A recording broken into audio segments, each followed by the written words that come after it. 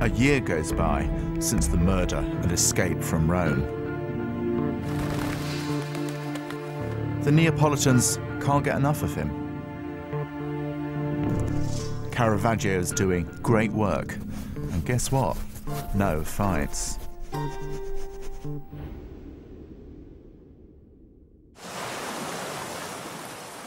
So why does he suddenly leave and end up in Malta, of all places?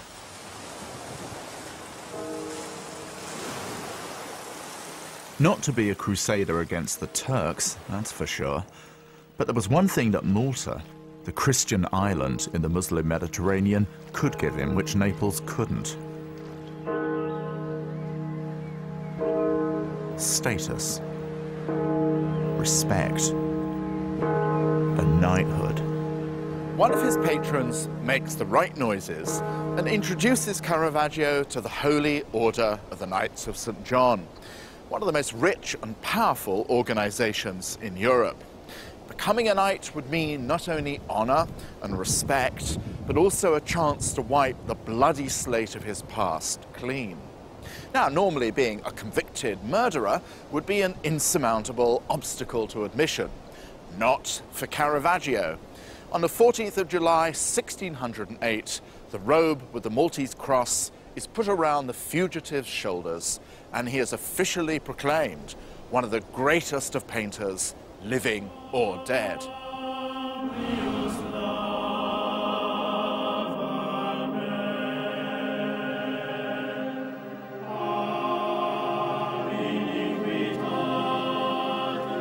In exchange for all this, Caravaggio undertook a painting for the Knights Cathedral.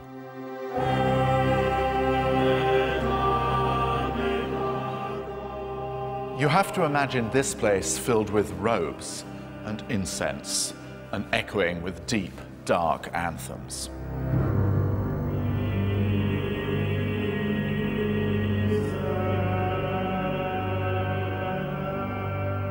The beheading of John the Baptist is the biggest thing Caravaggio had ever done. 17 feet long, filling the entire eastern wall of the oratory. It's movie screen sized. He wanted the knights to feel it not as a painting, but as a living drama going on right in front of them.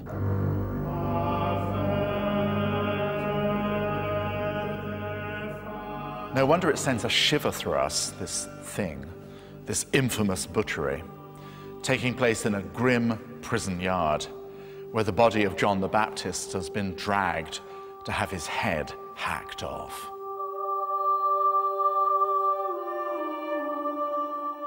It's a scene of remorseless cruelty that tears your insides out and turns art upside down. Art is supposed to bring us beauty, but just look at that semicircle of figures and you will see something has gone terribly wrong. That perfect lily white arm carries the golden bowl into which the Baptist's head will drop the solemn soldier, the embodiment of authority, is giving the order for an atrocity. And that perfect nude is a cold-blooded hitman with a knife. The action seems to go on forever, until, like that anguished old woman, all you can do is scream. Caravaggio gives us death twice over the death of John the Baptist, and the death of our most cherished illusion about art, that it can make us finer, more humane. Dream on, says Caravaggio. In the face of this barbaric power, all we can ever be are impotent spectators, just like those prisoners in the grim darkness, screwing their necks to get a look. It's this ruthless honesty that makes this such a modern work. Art without any vision of consolation or redemption. It's a chilling scene. For me, it's about the most powerful statement an artist could possibly make about the human condition, about the brutality of state murder. But it's also autobiography. Caravaggio has signed this picture, writing his name in the blood of John the Baptist. Only a guilt stricken killer could possibly feel this desperately about wanting the violence to stop. Only Caravaggio could want so badly for the blood of the martyr to wash away his crime.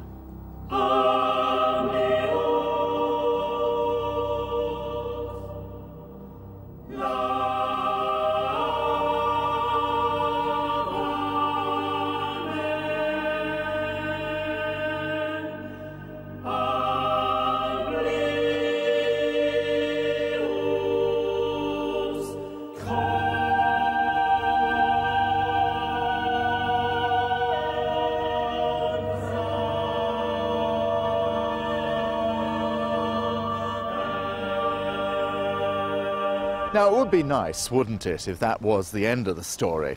Outlaw painter redeemed by knockout masterpiece. Art changed forever, sinner saved. And in Caravaggio's case, salvation doesn't come that easily. The painter who wants violence to stop can't even control his own. Barely a month after he's been admitted to the Order of St. John, Caravaggio's imprisoned for assaulting a brother knight. But, incredibly, he manages to escape from his underground cell over the castle walls and into a boat which takes him to Sicily.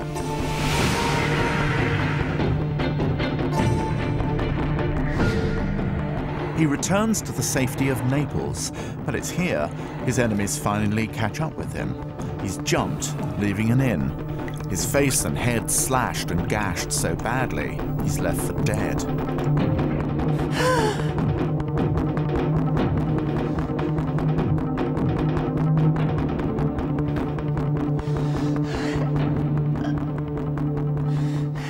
but he doesn't die. And in this, his darkest moment, recovering from his beating, news reaches him from Rome.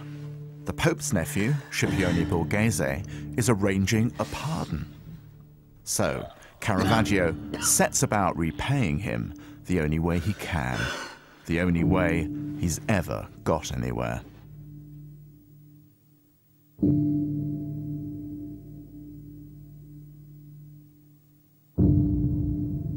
It's a self-portrait, unlike any painted before.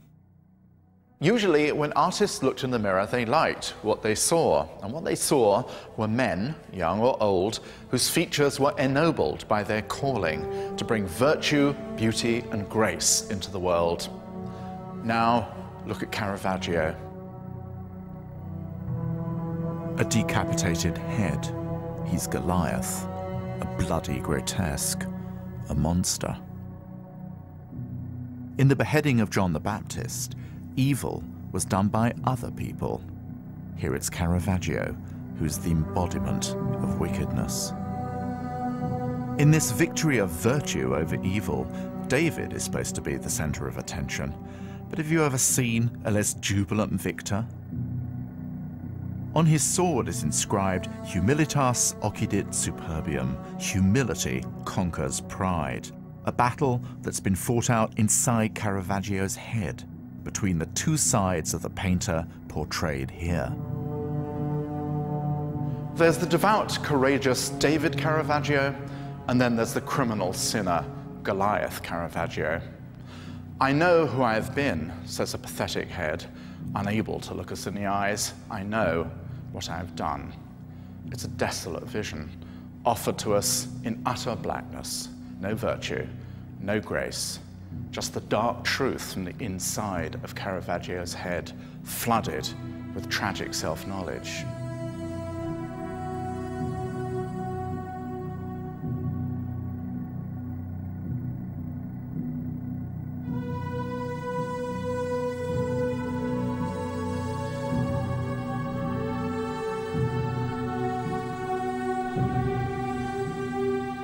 For me, the power of his art is the power of truth, not least about ourselves. For if we're ever to have a chance of redemption, it must begin with an act of recognition that in all of us, the Goliath competes with the David. In July 1610, Caravaggio rolled up his paintings and set sail from Naples, finally heading home.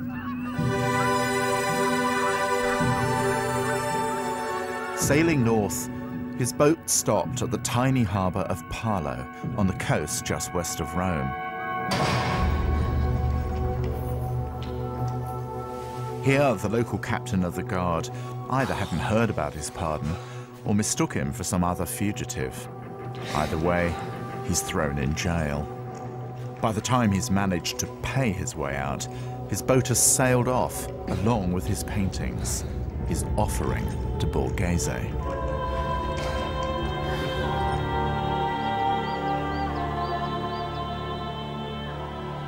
Desperate to catch up with his ship with its precious cargo, Caravaggio sets off north towards Porto Ercole, 100 kilometers through the malarial-infested swamp country, the Maremma.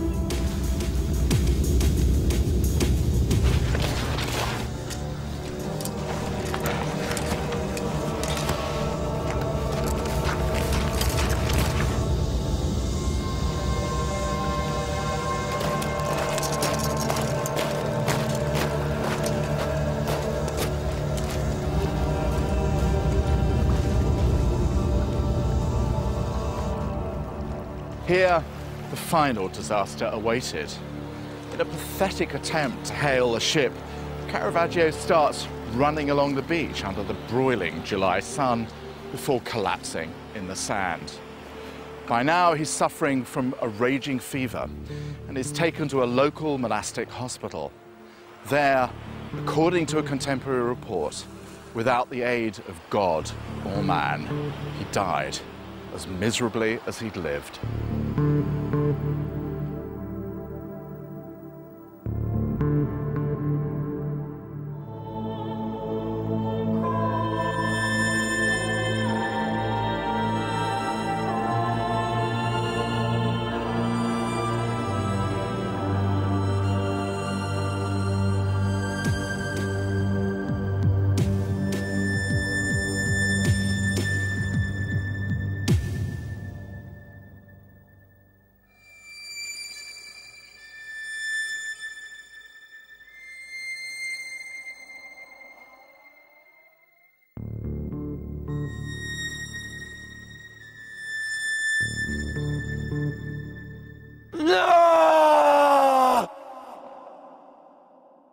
It's sometime later that the Pope's nephew, Scipione Borghese, finally receives the paintings with which Caravaggio had hoped to win his pardon. The cardinal finds himself face to face with the picture of the painter as the slain Goliath. The cardinal isn't used to this.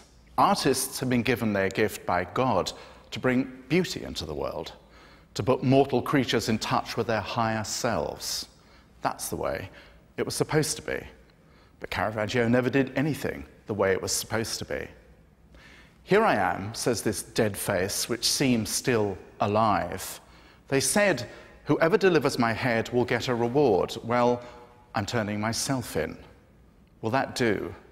Can I have my reward? Can I have my pardon? Sorry, says the cardinal. So sorry. You're too late.